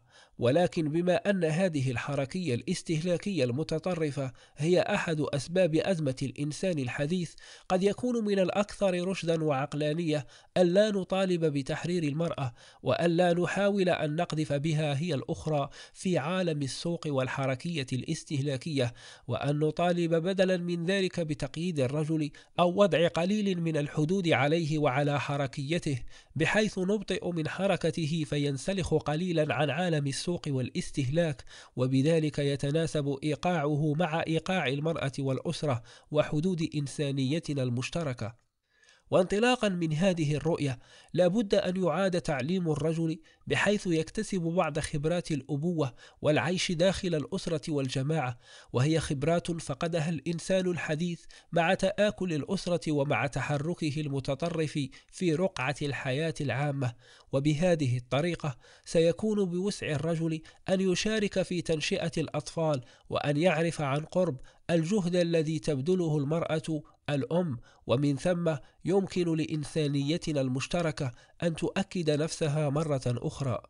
وهذه استراتيجية لا تختلف كثيرا عن استراتيجية جماعات الدفاع عن البيئة الخضر فهم يطالبون الإنسان الغربي بأن يخفض من حرارة المجتمعات الغربية وأن ينسلخ قليلا عن أيديولوجية التقدم والغزو والإنجاز والإنتاجية. على أن يحل محلها أيديولوجية الاتزان والتوازن مع الطبيعة والذات وإشباع الحاجات الإنسانية الأساسية بحيث يتناسب إيقاع المجتمع مع إيقاع الإنسان. ولعله قد يكون من المفيد ألا نتحدث عن حق المرأة في العمل أي أن تعمل في رقعة الحياة العامة نظير أجر أي العمل المنتج ماديا الذي يؤدي إلى منتج مادي سلع وخدمات. ونعيد صياغة رؤية الناس بحيث يعاد تعريف العمل فيصبح العمل الإنساني أي العمل المنتج إنسانيا. وبذلك نؤكد أسبقية الإنسانية على المادي والطبيعي. وهنا تصبح الأمومة أهم الأعمال المنتجة وماذا يمكن أن يكون أكثر أهمية من تحويل الطفل الطبيعي إلى إنسان اجتماعي؟ ومن ثم يقل إحساس المرأة العاملة في المنزل بالغربة وعدم الجدوى ويزداد احترام الرجل لها ويكف الجميع عن القول بأن المرأة العاملة في المنزل لا تعمل وكأن عمل سكرتيرة في إحدى شركات التصدير والاستيراد أو إحدى شركات السياحة أكثر أهمية وجدوى من تنشئة الأطفال. ولعلنا قد نكتشف طرقا جديدة لإعادة إنتاج الأسرة الممتدة بما توفره للإنسان من طمأنينة داخل المدينة الحديثة ذات الطرق القاسية والإيقاع المرعب كأن نطور طرزا معماريا تفاعل الجيزة كمؤسسة وسيطة تشبه في وظيفتها الأسرة الممتدة. وقد يمكننا التوصل ليوم عمل يمكن تقطيعه وتقسيمه ليتناسب مع مؤسسة الأسرة ولا يتعارض مع محاولة المرأة أن تقوم بدورها كأم وكزوجة بل إنه يمكن تعديل رقعة الحياة العامة ذاتها ومكان العمل بحيث يخلق داخله حيز إنساني.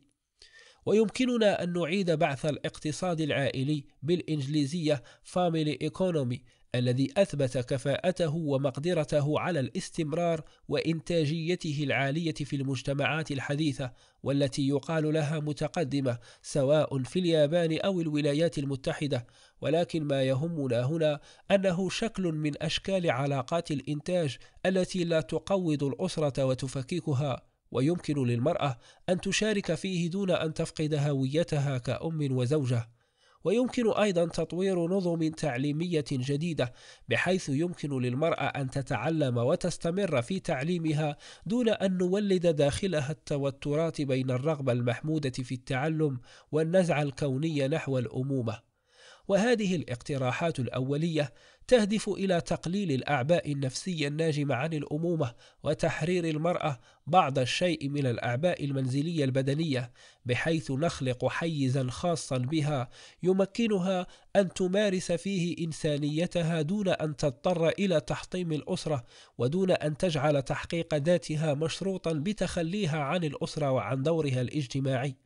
ويجب أن يواكب هذا دراسة جادة ومتعمقة نقدية وخلاقة لظاهرة تحرير المرأة في الغرب داخل إطار الترشيد المادي وإطار الفكر المادي الصراعي الواحدي المتمركز حول الأنثى. فعلى سبيل المثال يمكن أن ندرس المشاكل الناجمة عن تآكل الأسرة وتكلفتها الاجتماعية والمادية وقد قرأت في إحدى الدراسات أن انسحاب المرأة من الأسرة واستيعابها في آليات السوق والحركية الاستهلاكية وتحولها إلى طاقة عاملة في رقعة الحياة العامة ووحدة إنتاجية في سوق العمل يؤدي إلى غربة شديدة عند الأطفال مما يحولهم إلى عناصر مدمرة وقد رأى الباحث صاحب الدراسة أن عمليات التخريب المتعمد في المدارس سكول فانداليزم تكلف البلايين من الدولارات وأنها مرتبطة تمام الارتباط بظاهرة اختفاء الأم كما يمكن أيضا حساب الخسارة النفسية للطفل والتي يمكن ترجمتها ماديا إلى أرقام. وهل يمكن أيضا ربط علاقات معدلات الطلاق بمعدلات انسحاب المرأة من الأسرة ومن دور الأمومة؟ يكلف الطلاق في الولايات المتحدة بلايين الدولارات أيضا. ومن المعروف أن شركات التأمين ترفع أقساط التأمين على كل من يطلق لأنه يرتكب عددا أكبر من الحوادث. ويمكن الإشارة هنا إلى ما يسمى ظاهرة تأنيث الفقر Feminization of Poverty التي أصبحت ظاهرة اجتماعية معروفة في الولايات المتحدة إذ يبدو أنه في إطار حرية المرأة وحرية الرجل.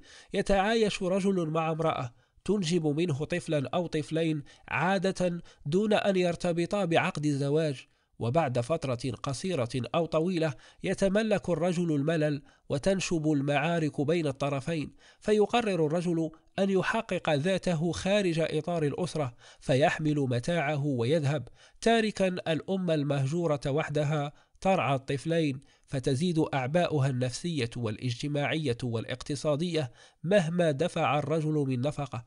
وازداد الرجال متعة وحركية استهلاكية أي أنه تم تأنيث الفقر. ويمكن أن نضيف أنه تم كذلك تأنيث الجهد النفسي والإرهاق البدني. ولعل هذا من أهم الأسباب السوسيولوجية لزيادة معدلات السحاق في المجتمعات الغربية فهو يحل مشكلة ضرورة تفريغ الطاقة الجنسية للأنثى دون أن يدخلها في دوامة العلاقة مع الرجل التي توردها موارد التهلكة والفقر والألم والهجران. كما يمكن أن ندرس إنتاجية المجتمع ككل في إطار خروج المرأة للعمل في حقل الحياة العامة بدلا من العمل في حقل الحياة الخاصة. فهناك من الدراسات ما يشير إلى إنتاجية المجتمع على مستوى الماكرو تتزايد مع اطلاع المرأة بدور الزوجة والأم، إذ أنها تقوم بتربية الأطفال تربية صالحة، فيصبحون أعضاء منتجين في المجتمع، كما أنها تهدئ من روع الجميع، الزوج والأبناء عند عودتهم من رقعة الحياة العامة، فيستعيد الجميع توازنهم وتتزايد إنتاجيتهم. وثمة دراسات تشير إلى أن قلق المرأة بخصوص هويتها وذاتها قد تزايد مع فقدانها وظيفتها ومكانتها كأم وأن هذا القلق له مردود سلبي للغاية على صحتها النفسية وعلى محاولتها تحقيق ذاتها. وأن هذا هو الذي يؤدي إلى محاولة المرأة التشبه الشرس بالرجل وظهور اليونيسكس. كما يجب أن نضع نصب أعيننا أثر كل مشروع اقتصادي إنتاجي على بناء الأسرة وعلى دور المرأة كأم فهناك حديث عالمي عن الخصخصة ولم يدرس أحد أثر الخصخصة علينا كبشر وتكلفتها المعنوية والمادية مع العلم بأن التكلفة المعنوية تترجم نفسها بعد قليل إلى تكلفة مادية يمكن حسابها كميا بشيء من الجهد. وأعتقد أن الخصخصه بلا ضابط سيكون لها أثر مدمر على الأسرة وعلى المرأة فالخصخصة هي في واقع الأمر توسيع رقعة السوق وآليات العرض والطلب لتبتلع كل شيء. كما يجب أن لا يفوتنا أن نتصدى لكثير من المشاريع التي يقال لها تنموية والتي يفرضها البنك الدولي والتي تهدف في واقع الأمر إلى تحطيم الدول القومية ومؤسسة الأسرة التي يرون أنها من أكبر معوقات التنمية أي التقدم المادي بغض النظر عن الثمن الإنساني مهما كانت فداحته.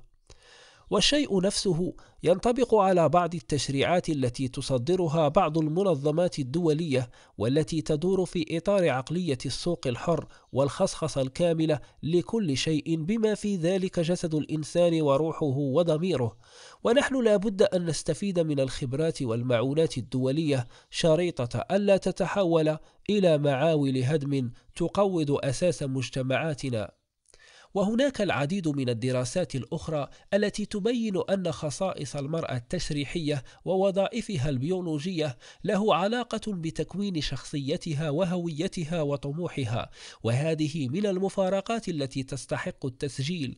فحركة التمركز حول الأنثى التي تؤكد مركزية جسد الأنثى في تحديد هويتها ينتهي بها الأمر إلى إنكار أي أهمية للجسد وللخصائص التشريحية والوظائف الوظائف البيولوجية تماما مثل الحركة الصهيونية التي تؤكد يهودية اليهودي ثم تحاول تخليصه منها.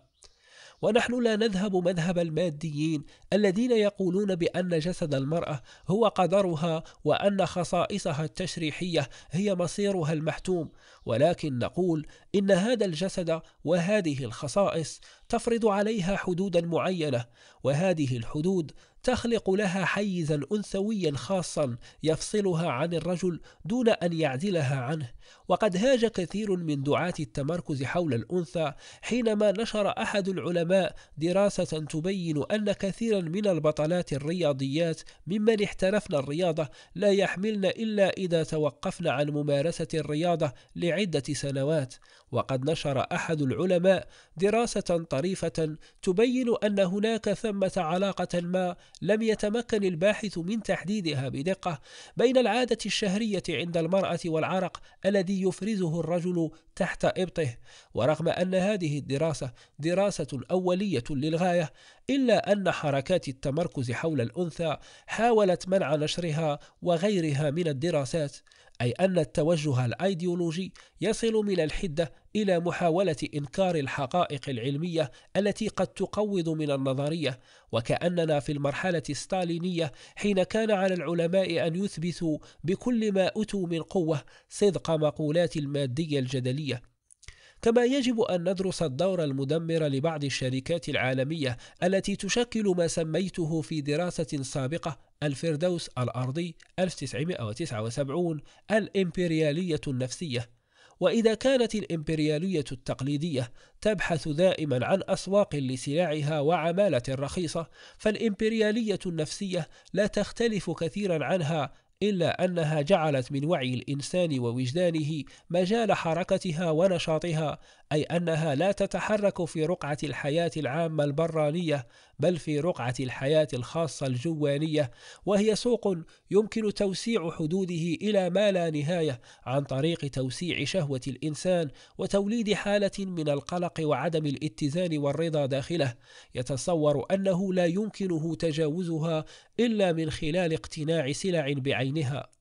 وقد نشأت عدة صناعات رؤوس أموالها بلايين الدولارات ركزت بالذات على المرأة فشركات مستحضرات التجميل وأدواته جعلت المرأة هدفا أساسيا لها فمن خلال آلاف الإعلانات يولد في المرأة إحساس بأنها إن لم تستخدم آلاف المساحيق والعطور والكريمات وخلافه تفقد جاذبيتها عادة الجنسية وتصبح قبيحة. وبعد ترسيخ هذه القناعة تماما في وجدان الإناث يتم تغيير المساحيق كل عام ويطلب من المرأة أن تغير وجهها لتصبح جديدة دائما مرغوبة أبدا وهكذا تصبح المرأة سوقا متجددا بشكل لا ينتهي. ولا تقل صناعة الأزياء شراسة عن صناعة مستحضرات التجميل فهي صناعة أصبح لها قنوات فضائية ونجوم وأبطال معظمهم من الشواذ جنسيا مات منهم خمسة في عام واحد بمرض الإيدز ونجحت صناعة الأزياء في التكتم على الخبر حتى لا تؤثر على مبيعاتها. وفي كثير من الأحيان تقترب عروض الأزياء من الإباحية الصريحة فهي تتفنن في طمس الشخصية الإنسانية والاجتماعية للمرأة وإبراز مفاتنها الجسدية لتتحول إلى جسم طبيعي مادي سوق عام لا خصوصية له يمكن هزيمته وتوظيفه وحوسلته أي تحويله إلى وسيلة. وهكذا يتم ترشيد جسد المرأة وتوجيهها في الإطار المادي ويتم سحبها من عالم الحياة الخاصة والطمأنينة إلى عالم الحياة العامة والسوق والهرولة والقلق. ومما يزيد الطين بلة أن كلا من صناعة مصاحيق التجميل وأدواته والأزياء تفرض مقاييس جمالية يستحيل الالتزام بها إلا لمجموعة محدودة من الإناث المتفرغات لجسدهن مثل الممثلات أو عارضات الأزياء أو فتيات الإعلانات. وقد تسبب هذا في انتشار الأمراض النفسية مثل مرض أناركسيا فورموزا وهو إحساس يتملك المرأة مهما بلغت من جمال ورشاقة أنها قبيحة وبدينة. فتمتنع عن الأكل بسبب قلقها الشديد بخصوص وزنها وجمالها وفي بعض الأحيان تقضي نحبها. ويبدو أن المرض منتشر على نطاق واسع. يقال إن الأميرة ديانا كانت مصابة به بعض الوقت. ومثل هذه القضايا تتناولها فروع جديدة في علم الاجتماع مثل سوسيولوجيا الوجه وسوسيولوجيا الجسد. ويساند عمليات حوسلة المرأة أي تحويلها إلى وسيلة هذه وتوسيع نطاق الإمبريالية النفسية صناعة الإعلانات التي تستخدم المرأة لتصعيد الرغبات الاستهلاكية عند كل من الرجل والمرأة. وتعيد إنتاج صورة المرأة باعتبارها جسدا ماديا ومحضا موضوعا للرغبة المادية المباشرة.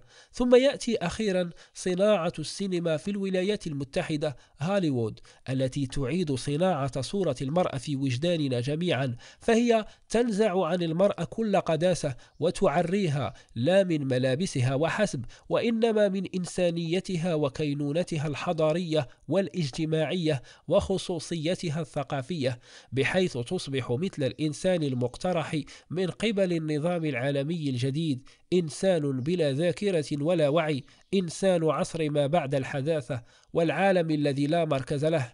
بين قوسين استخدم بعض الظرفاء اصطلاح ما بعد البيكيني بالإنجليزية post-bikini على منوال ما بعد الحداثة بالإنجليزية post-modernist. ليشير إلى هذا الاتجاه نحو التعرية الشاملة وليوجه أنظارنا نحو العلاقة بين تعرية المرأة من ملابسها وتعرية الإنسان من منظوماته القيمية وخصوصيته القومية. ولعله قد يكون من المفيد أن نرى علاقة حركة التمركز حول الأنثى والمفاهيم الكامنة فيها بمشروع السوق الشرق أوسطية فكلاهما معاد للتاريخ وكلاهما يطالب الإنسان العربي أن ينسى ماضيه ووعيه وأن يبدأ من جديد. ولعله قد يكون من المفيد أن ندرك العلاقة بين حركة التمركز حول الأنثى وظواهر جديدة في مجتمعنا مثل الاهتمام المحموم من قبل بعض الصحف والمجلات المصرية بالجنس واستخدام العامية المصرية في هذه الصحف وفي الإعلانات. إن الجنس الذي تتناوله هذه الصحف ليس شأنا إنسانيا مركبا وليس ظاهرة اجتماعية وتاريخية وإنما هو تسلية وفضائح أي أنه عملية نزع القداسة عن الإنسان ليصبح موضوعا بسيطا وطريفا لا كائنا مركبا عظيما. وفي هذا الإطار تصبح فضائح نجوم السينما وسيرهم الذاتية غير العطرة هي أهم الأخبار والصور المجازية الأساسية ومن ثم يتم تدويب الإنسان في سيرة فلان الراقصة التي لم تنجز شيئا في حياتها سوى سلسلة من الزيجات وعددا من الفضائح. واستخدام العامية لا يختلف كثيرا عن ذلك فلو أصبحت العامية وحدها هي مستودع ذاكرتنا التاريخية لفقدنا امرؤ القيس والبحتري وابن خلدون وابن سينا أي فقدنا كل شيء وتصبح كلاسيكياتنا هي أغاني شكوك وأقوال إسماعيل ياسين. وأعتقد أن الإنسان الذي يقتضي بالراقصة فلانة ولا يتذكر إلا بعض الأفلام والأغاني المصرية هو إنسان تم تفريغه تماما وتفكيكه تماما ومن ثم يمكنه التحرك بكفاءة عالية في السوق الشرق أوسطية لأن السوق العربية تتطلب إنسانا آخر له هوية وذاكرة ويحمل منظومة قيمية إن حركة التمركز حول الأنثى هي جزء من هذه الهجمة الشاملة ضد قيمنا وذاكرتنا ووعينا وخصوصيتنا ويجب أن ندرك هذا ونعيه حتى لا تكون معركتنا جزئية وغير واعية بذاتها. خاتمة هذه كلها أفكار مبدئية للغاية مجرد خطوط عامة ولكن ما يجمعها كلها أن نقطة البدء والوحدة التحليلية هي الإنسان الاجتماعي وليس الإنسان الطبيعي وهي الأسرة وليس الفرد المتشظي الوحيد الذي تكتسحه وسائل الإعلام وتحركه المؤسسات الكبرى. وأرجو ألا يفهم من حديثي أنني أنكر وجود قضية المرأة في مجتمعاتنا العربية والإسلامية وأنه لا يوجد درجات متفاوتة من التمييز ضدها بل والقمع لها. فأنا أعرف باعتباري أستاذا في كلية البنات لسنين طويلة أن ثمة مشكلة حادة وعميقة تتطلب حلا عاجلا وجذريا كما أرجو ألا يتصور أحد أنني أطالب بمنع المرأة من العمل في رقعة الحياة العامة أو نظير أجر نقدي أو أنني أطالب بالحجر عليها عقليا وعاطفيا. كل ما أطالب به أن يتم تناولنا لقضية المرأة من خلال قضية الأسرة وفي إطار إنسانيتنا المشتركة وأن تكون الأسرة لا الفرد الباحث متعته الفردية ومصلحته الشخصية وحركيته الاستهلاكية هو الوحدة التحليلية ونقطة الانطلاق. ومن ثم فأنا أطالب برد الاعتبار للأمومة ولوظيفة المرأة كأم وزوجة. وأرى أن هذه الوظيفة الإنسانية والخاصة تسبق أي وظائف إنتاجية وعامة أخرى وإن كانت لا تجبها كما أطالب بالحفاظ على الخلاف بين الجنسين على ألا يتحول هذا إلى أساس للظلم والتفاوت.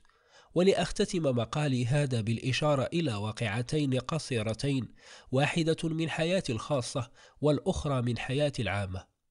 حينما ذهبنا أنا وزوجتي الدكتورة هدى حجازي إلى الولايات المتحدة لاستكمال دراستنا. كنت من أكبر المطالبين بحرية المرأة في إطار المساواة الكاملة التي تقترب من التسوية. وقد التحقت زوجتي ببرنامج الماجستير وآثرت ألا تتفرغ تماما للدراسة حتى لا تتعارض دراستها مع واجباتها كأم. فحصلت على هذه الدرجة العلمية ببطء شديد مقرر واحد أو مقررين كل فصل دراسي. ولكن حينما سنحت أمامها الفرصة للالتحاق ببرنامج الدكتوراه أصبح الأمر يتطلب التفرغ الكامل ومن ثم الاستعانة بجليسة للأطفال بالإنجليزية بيبي سيستر ولم أمانع كثيرا في ذلك وطلبت منها أن تغتنم الفرصة وأن لا تضيع أي وقت. ولو فعلت لحصلت على درجة الدكتوراه وهي بعد دون السادس والعشرين ولبدأت حياتها المهنية العامة في سن مبكرة. ولكني فوجئت بها ترفض كما رفضت أن تعمل خارج المنزل لأنها كانت تشعر أن العلاقة المباشرة بين الأم والطفلة أمر لا يمكن تعويضه مدى الحياة. وأن دراستها وعلمها هذا سيحرم طفلتها من الحق في أن تستيقظ في الوقت الذي تشاء وأن تقضي سنوات حياتها الأولى في طمأنينة وسعادة وسكينة. ساعتها فزعت من نفسي لأنني بسبب عقلية الإنجاز البروميثية والإنتاج الفاوستية التي هيمنت علي آنذاك لم أدرك هذه الأمور الكونية البسيطة. وكبرت الطفلة وحصلت كل من الأم والطفل على الدكتوراه ولم ينتهي التاريخ. أما عن نفسي فأعرف أنني أدركني شيء من الندم كما أعرف أنني أدركت الكثير من الحكمة. فأما الواقعة الثانية فهي كما أسلفت من حياتي العامة. كنت أعرف سيدة أمريكية من رائدات حركة التمركز حول الأنثى كانت تزورني أنا وأسرتي عام 1974 وعبرت عن رغبتها في التعرف على رائدات حركة تحرير المرأة في مصر فاتصلت بالدكتورة سهير القلماوي رحمها الله فتفضلت مشكورة بدعوتنا كلنا على طعام الغداء وبدأ الحوار بين السيدة الأمريكية والدكتورة سهير فتحدثنا عن المساواة بين الرجل والمرأة وعن تحرير المرأة وكانت الدكتورة سهير توافقها على ما قالت إلى أن وصلت إلى نقطة شعرت عندها الدكتورة سهير أن الأمر لم يعد حديثا عن تحرير المرأة وإنما عن تثويرها في مقابل الرجل وعزلها عنه هنا توقفت الدكتورة سهير عن الحديث معها باللغة الإنجليزية والتفتت إلي وقالت بالعربية ماذا تريد هذه السيدة؟ إن أخذنا برأيها سيكون من المستحيل علينا أن نجمع بين الذكور والإناث مرة أخرى ثم استمرت في الحديث بالإنجليزية وقد لخصت كلماتها البسيطة الرائعة الفروق الحادة بين حركة تحرير المرأة وحركة التمركز حول الأنثى وبين من يدرك الإنسانية المشتركة ومن يرفضها وبين من يرى أسبقية المجتمع على الفرد ومن يرى أن الذات الفردية هي البداية والنهاية. وبين من يضع الإنسان قبل الطبيعة والمادة ومن يرى على العكس من هذا أسبقية المادة على وعي الإنسان وحضارته وتوجهه الاجتماعي والأخلاقي. والله أعلم. تم الكتاب بفضل الله. سبحانك اللهم وبحمدك. أشهد أن لا إله إلا أنت. أستغفرك وأتوب إليك.